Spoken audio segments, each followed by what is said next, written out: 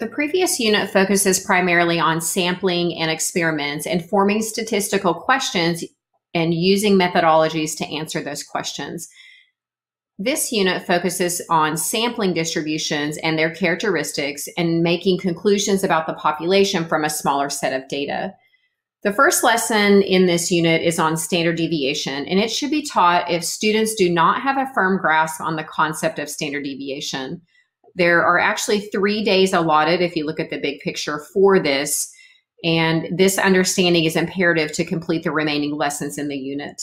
So if they have a firm grasp and know the definition, then you might be able to start on lesson two, which is normal distribution and empirical rule. So for the scope and sequence, the the purpose of this lesson really is to have students get a foundation for standard deviation.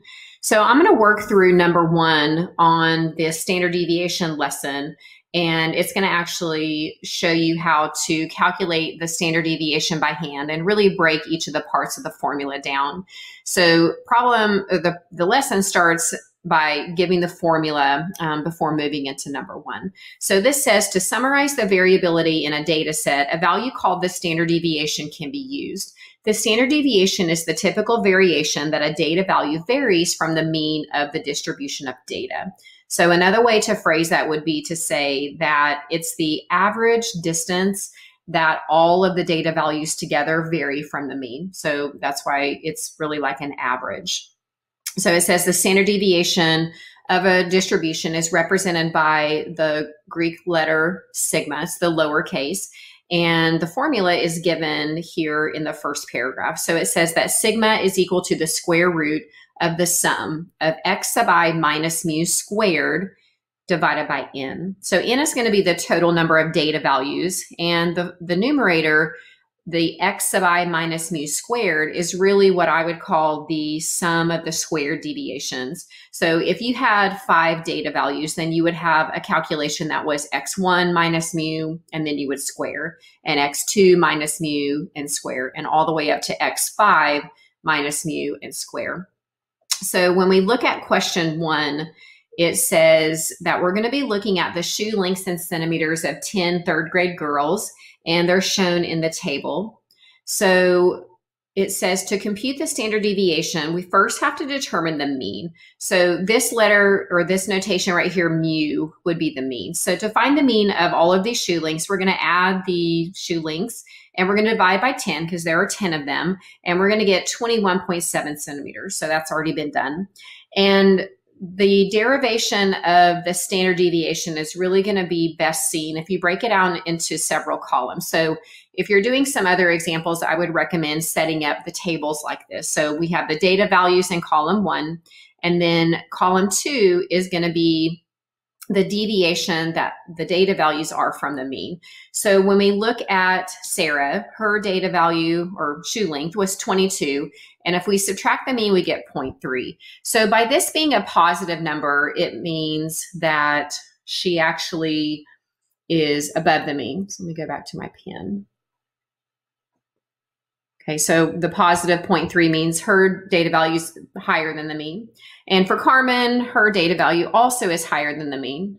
And then for Tina, 21 minus 21.7 is a negative number, so Tina is below the mean. So when we look at the remaining questions for Micaiah, excuse me, that's girls, we have 24 minus 21.7 and that's going to end up giving us a deviation of 2.3. So Micaiah is above the mean. And if I complete the first column, then I'm going to end up getting 0.3 for Kai, negative 0.7 for Michelle, negative 2.7 for Caroline, 1.3 for Gabby, 0.3 for Shannon, and negative 1.7 for Heather. So encourage your students to complete the first column. And then, even though this is actually already added for you at the bottom, I would have them check that. So it seems really confusing that if we're finding an average, that the sum of all of the deviations are zero. And so that we have to get around that somehow. So what I want to do is look at how this data is organized. And this is actually a scatter plot of all of the girls. So I have the 10 girls and each of their data values.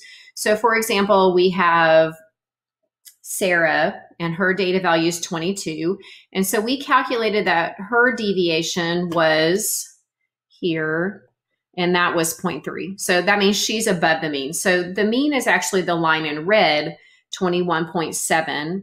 So you can see that some data values are above and some are below. So if we go to the third girl, which is Carmen, excuse me, Tina, uh, this vertical distance right here is 0.7, but because it's below the mean, it would be negative. So the idea in summing the deviations is that some of the data values are above the mean and then some are below. But when you add all of those deviations together, you get zero because that's what creates the actual average. So if we go back to the lesson, we're going to look at the third column. And so this would be the sum, uh, or excuse me, this would be the squared deviation from the mean. So I need to take all of the deviations and square them. So the first one, you know, first three are done. So 0.3 squared is 0.09, 1.3 squared is 1.69, and so on. So if I look at Micaiah, I can take 2.3 squared, which is her deviation from the mean squared, and get 5.29. So if I continue squaring all of the values in the second column, I'm going to get all the square deviations for each girl.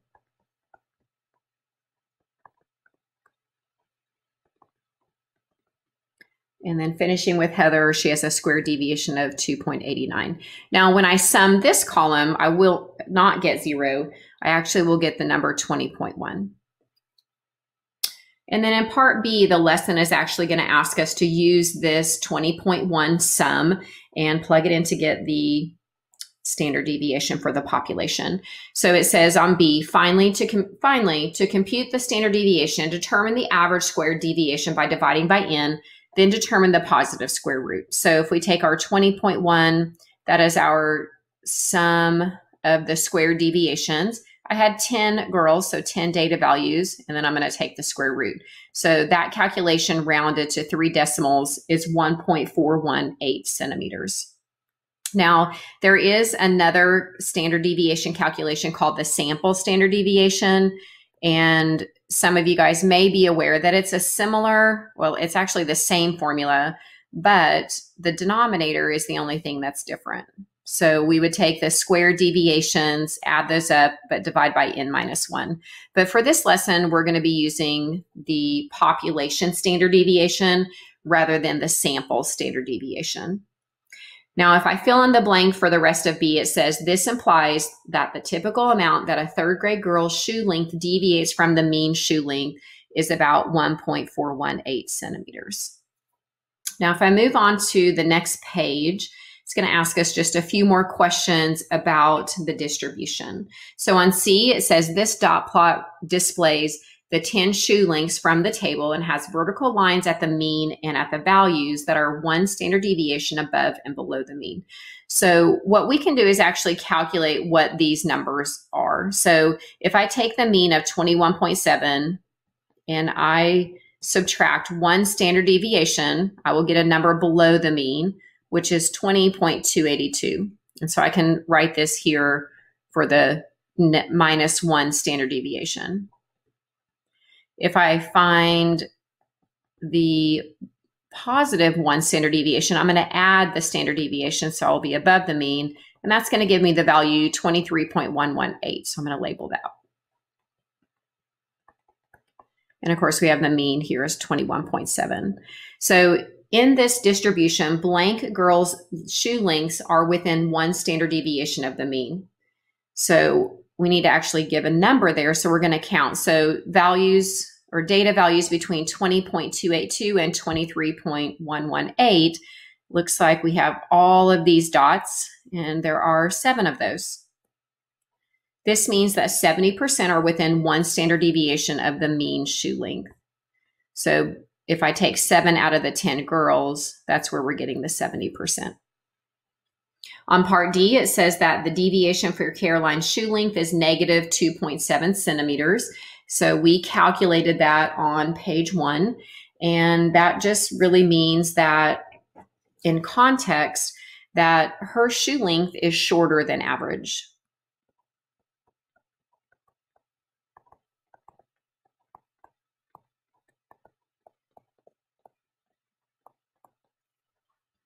On part E, it says Carmen's shoe length is less than one standard deviation above the mean.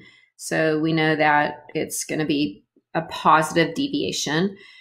Exactly how many standard deviations above the mean is her shoe length? So the hint here says since standard deviation measures distance from the mean, divide the deviation by the standard deviation. So when we look back on page one at Carmen and recalculate, it looks like her shoe size is 23.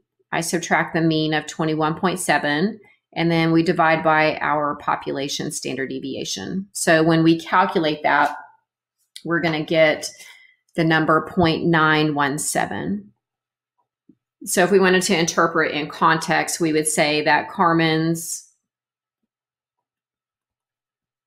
shoe length is 0.917 standard deviations above the mean. This may sound like a familiar calculation, and this calculation is actually a z-score calculation. We're not required to teach z-score calculations in the scope of the course of study, but if you're familiar with the z-score, it is by definition the number of standard deviations a data value is above the mean.